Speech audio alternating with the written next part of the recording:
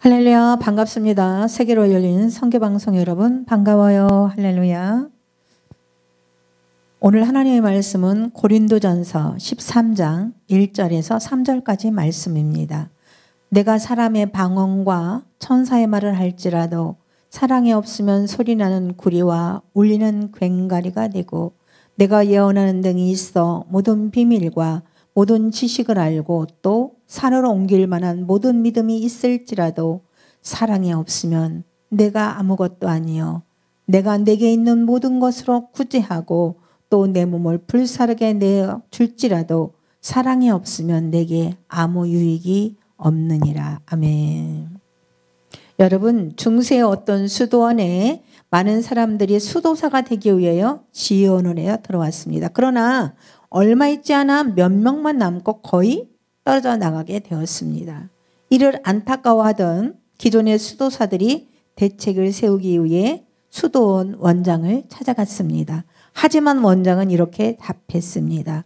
많은 개들이 사냥꾼을 따라 사냥을 나서지만 대부분의 개들은 도중에 뛰는 것을 멈추고 헐떡이며 뒤로 돌아섭니다. 이는 사냥감을 보지 못하고 앞에 개를 따라 덩달아 뛰었기 때문입니다. 하지만 사냥감을 분명히 본 개는 아무리 피곤해도 그 사냥감을 끝까지 따라가 입에 물고 돌아옵니다. 마찬가지로 분명한 목표 없이 막연한 기대를 갖고 수도원에 들어온 사람은 쉽게 낙심하고 쉽게 포기하지만 일생을 수도사로 살겠다는 분명한 목표를 가지고 수도원에 들어온 사람은 끝까지 참고 견뎌서 훌륭한 수도세가 되는 것입니다. 이렇게 말을 했습니다. 여러분, 우리 인생도 사역도 마찬가지입니다. 확실한 목표가 없는 사람은 인생의 경주에서 중도에 포기하고 주저하고 않습니다. 하지만 분명한 목표가 있는 사람은 어떠한 장애물도 뛰어넘고 완주를 한다는 것입니다. 그렇다면 우리는 어떠한 분명한 목표를 갖고 새로운 시작을 해야 결코 후회하지 않는 인생을 살 수 있을까요? 첫째, 우리는 절대 희망으로 우리의 마음을 지킬 것을 목표로 삼아야 합니다. 어떤 새로운 일을 시작할 때 우리의 마음은 설렘보다는 두려움이 기쁨보다는 염려가 앞섭니다. 미래라는 것이 본래 불확실성으로 꽉 들어찬 예측 불허의 세계이기 때문입니다. 그러나 여러분 곰곰이 생각을 해보십시오. 우리 부모님 세대가 걸어왔던 인생길 역시 그리 넉넉하지 않았음을 듣고 듣고 들었습니다. 일제치해라는 캄캄한 밤을 겪었고 6.25라는 민족 상전의 쓰라린 폭풍우도 겪었습니다. 그 뒤에 민주화 경제, 부흥을 이루기에 수많은 험산 줄령과 거친 광야를 지나왔습니다. 여러분, 우리의 미래에도 부모 세대처럼 이런 캄캄한 밤과 쓰라린 폭풍과 험산 줄령과 광야가 없으리라는 보장이 없습니다. 그렇다면 이 거대한 운명의 도전 앞에서 우리는 계속 낭망하고 두려워해야만 할까요? 영국의 학자이자 아놀드 토이빈의 말처럼 문명은 도전과 웅전의 연속이었습니다. 우리를 막아서는 것이 운명의 몫이라면 그 운명을 극복하는 것은 우리의 몫입니다. 즉, 도전이 운명의 몫이라면 그 응정, 그 숙제는 우리의 몫이 되는 것입니다. 그러므로 더 이상 우리가 통제할 수 없는 불확실성의 운명을 논하기보다 우리가 통제할 수 있는 응전, 즉 삶의 태도를 논하는 것이 훨씬 더 현명한 일일 것입니다. 세계에서 가장 높은 산들이 있는 히말라야 산맥을 오르는 사람들은 고산병으로 무척 고생을 한다고 합니다. 이 병은 물에 빠진 사람과 같이 산소가 부족하여 숨이 막히고 답답해지는 고통을 받는 것입니다. 그래서 등산가들은 자신의 힘으로 통제할 수 없는 이 외적 도전 앞에서 자신의 마음을 지킴으로써 내적 응전을 한다고 합니다. 즉 힘들다. 짜증난다. 왜 내가 여기까지 왔을까라는 부정적인 생각 대신에 괜찮다. 할만하다. 할 수 있다. 이 정도 온 것만 해도 대단하다라는 식으로 긍정적인 생각을 하고 그것을 입으로 반복하여 말한다는 것입니다. 이렇게 할 때 깨어질 듯이 아픈 머리는 한 겹 맑아지고 무거웠던 발걸음은 가벼워진다고 합니다. 이는 뇌 속에 있는 언어 중추 신경이 다른 모든 신경을 지배하므로 말을 통하여 자신이 원하는 방향으로 온 몸을 조절할 수 있기 때문입니다. 이러한 사실은 신경학계의 연구로 밝혀진 바가 있습니다. 사랑하는 여러분, 그렇기 때문에 성경은 다음과 같이 말씀합니다. 잠언서 4장 23절 모든 지킬 만한 것 중에 더욱 내 마음을 지키라. 생명의 근원이 이에서 남이니라. 자기의 마음을 다스리는 자는 성을 빼앗는 자보다 나으니라. 우리는 부와 명예와 권력의 높은 성을 쌓고도 마음을 지키지 못해 스스로 목숨을 끊는 사람들을 종종 보며 안타까워합니다. 죽는 게 끝이 아닌데 분명 그 죽음 다음에 천국이 있는데 가슴이 아프죠. 이렇듯 눈에 보이는 그 어떤 성보다 눈에 보이지 않는 수심이 마음이 중요합니다. 그러므로 어떤 환경적 도전 앞에서도 결코 두려워하지 않고 절대 희망, 절대 긍정의 생각으로 여러분의 마음을 지키시기를 축복합니다. 우리는 사랑하며 살기로 결단해야 됩니다. 성경은 하나님께서 우리 인류에게 주신 계명을 두 가지라고 말씀합니다. 첫째는 하나님을 내 마음과 뜻과 정성을 다해 사랑하는 것이고 내 이웃을 내 몸과 같이 사랑하라는 것입니다. 왜 하나님을 사랑해야 할까요? 그것은 우리가 하나님의 사랑을 먼저 받았기 때문이에요. 성경은 다음과 같이 요한일서 4장 7절에서 하나님은 사랑, 하나님은 사랑, 하나님은 사랑. 사랑은 하나님께 속한 것이니. 요한일서 4장 8절에서도 하나님은 사랑이심이라. 로마서 5장 5절에도 소망이 우리를 부끄럽게 하지 아니하면 우리에게 주신 성령으로 말미암아 하나님이 우리 마음에 부음바 대민이라고 말씀합니다. 여러분 부모의 사랑이 우리에게 먼저 부어졌기 때문에 우리의 존재가 가능했고 우리의 생존이 가능합니다. 마찬가지로 하나님의 사랑이 우리에게 부어졌기 때문에 우리는 이 땅에 존재할 수 있었고 지금까지 살아올 수 있었습니다. 할렐루야.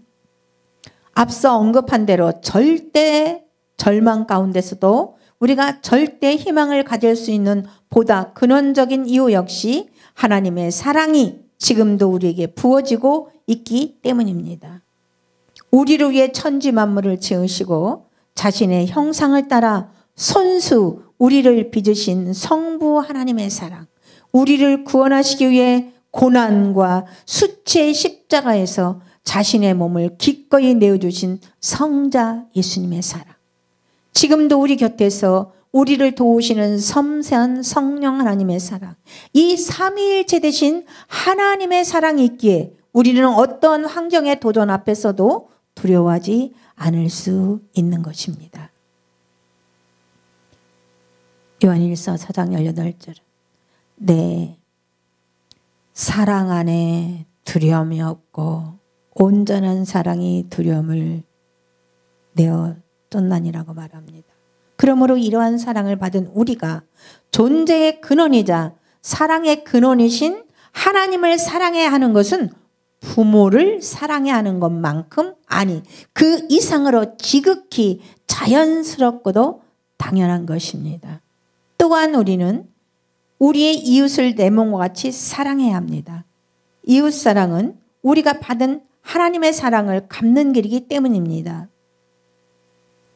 그래서 오늘 본문 말씀 내가 사람의 방언과 천사의 말을 할지라도 사랑이 없으면 소리나는 구려와 울리는 괭거리가 되고 내가 예언하는 능력이 있어 모든 비밀과 모든 지식을 알고 또 산으로 옮길 만한 모든 믿음이 있을지라도 사랑이 없으면 내가 아무것도 아니요 내가 내게 있는 모든 것으로 구제하고 또 내 몸을 불사르게 내어 줄지라도 사랑이 없으면 내게 아무 유익이 없느니라 아멘. 사랑이 없는 화려한 미사여고 사랑이 없는 지식과 능력과 업적 사랑이 없는 이념적 행동이나 용기 사랑이 없는 어떠한 종교적 행위도 껍데기이자 허상에 불과하다는 것입니다. 우리가 평생 이런 껍데기자 허상에 불과합니다. 우리가 평생 이런 껍데기나 허상에 불과한 것들을 붙잡고 살았다는 것을 인생의 종착역에 도달해서 깨닫게 된다면 그만큼 허무한 것이 어디 있겠습니까? 그러므로 우리는 힘써 사랑해야 합니다. 이 사랑이야말로 우리의 존재의 근원이자 이유이며 목적이기 때문입니다. 첫째, 사랑해야 됩니다. 사랑해야 돼요. 둘째, 사랑해야 돼요. 셋째도 사랑입니다. 우리는 심은 대로 거두는 법칙을 따라 삶의 텃밭에 좋은 씨앗을 심기로 작정합니다. 농사꾼은 막연한 기적을 기대하지 않습니다. 밭에 무엇을 심을까 궁리합니다.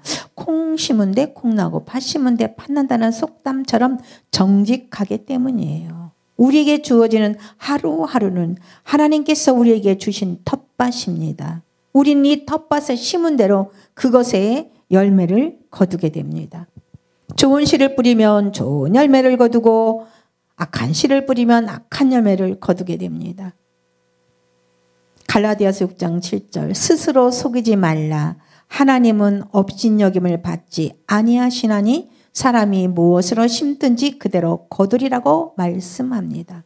사랑하는 여러분, 기도의 사람인 우리가 기도하면 대한민국은 지금보다 더 좋은 나라가 됩니다.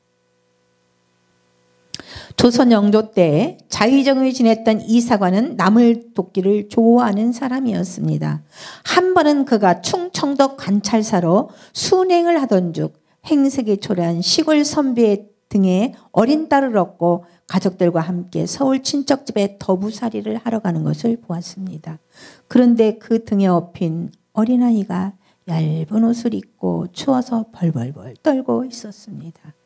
이를 본 사가는 자기가 걸치고 있던 수달 가죽 옷을 덮, 벗어서 덮어 주었습니다.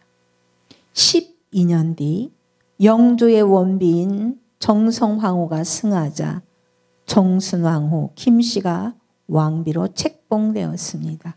그런데 이 정순왕후가 바로 선비 등에 엎혀있던 어린 아이였습니다. 이 왕비는 어릴 때 자신에게 수달 가지고서 입혀준 이사관의 은혜를 갚고 싶어서 왕에게 그를 추천하였습니다.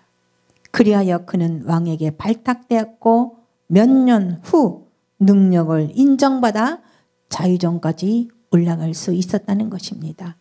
한 소자에게 베푼 사심 없는 선행이 훗날 그에게 생각지 않은 기회를 제공한 것입니다. 이렇듯 사람은 뿌린 대로 거두게 됩니다. 우리 주변에는 막연한 축복을 바라는 사람들이 있습니다. 그러나 인생의 밭은 정직합니다. 인생의 밭은 심은 대로 열매를 맺습니다. 그러므로 축복을 바라는 사람은 자신의 인생의 밭에 축복의 씨앗을 심고 사랑을 바라는 사람은 사랑의 씨앗을 심고 영생을 바라는 사람은 믿음이라는 영생의 씨앗을 심어야 합니다. 이것이 하나님이 정하신 법칙입니다. 사랑하는 방송가족 여러분, 목표가 없는 인생은 기필코 방황하게 됩니다. 그러므로 후회 없는 행복한 시작을 위해서는 분명한 목표를 세워야 합니다. 무엇보다 무한하신 하나님의 사랑을 힘입어 여러분의 마음을 절대 희망, 절대 긍정으로 무장하십시오. 위로는 하나님을 사랑하고 아래로는 이웃에게 사랑을 베풀며 살기로 결단하십시오. 그리고 하나님이 주신 삶의 텃밭에 좋은 씨앗을 심기로 결단하십시오. 그리하여 사랑과 행복과 기쁨의 풍성한 수확을 거두는 후회 없는 21년 인생이 되시기를 예수 그리스도의 이름으로 간절히 축복합니다. 할렐루야.